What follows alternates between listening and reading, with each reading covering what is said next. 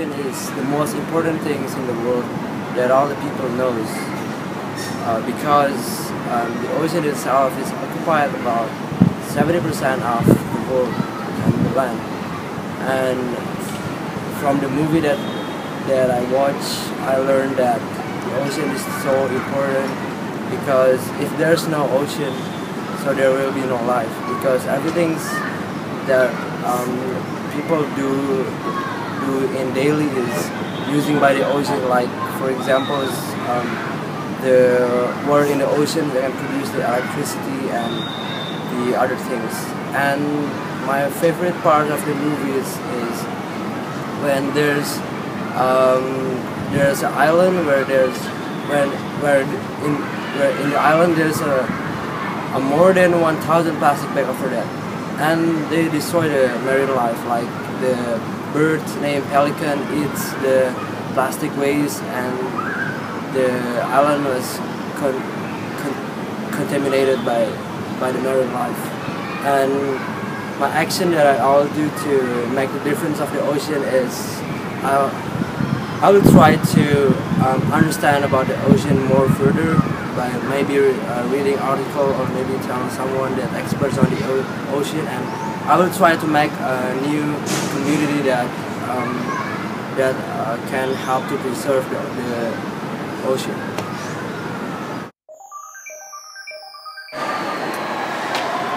I have always loved the ocean and I think the ocean is the most beautiful ecosystem in the world.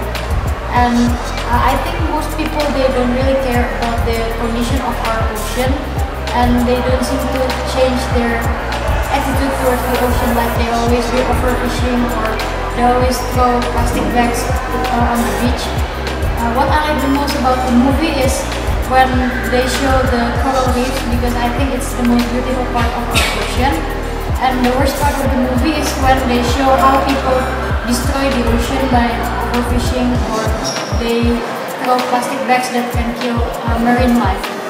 And what I try to change about this is first I try to change myself and my point of view of preserving the ocean. And then the next thing is I'll try my best to make people realize how important is it, it is to protect the ocean and I'll try to make people more care about the, our ocean.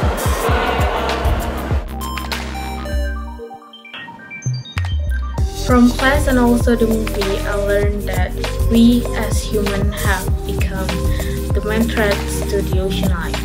Many of us doesn't realize that our small activities like using too much plastic bags could kill many of marine animals.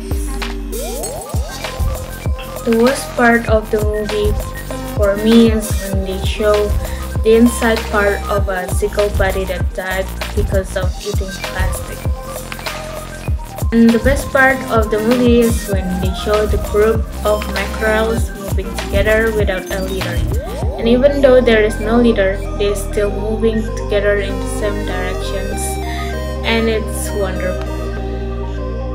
I am going to reduce the use of plastic bags and try to explain what I know about the ocean to my family so they will understand and try to help the ocean and spread the words to others.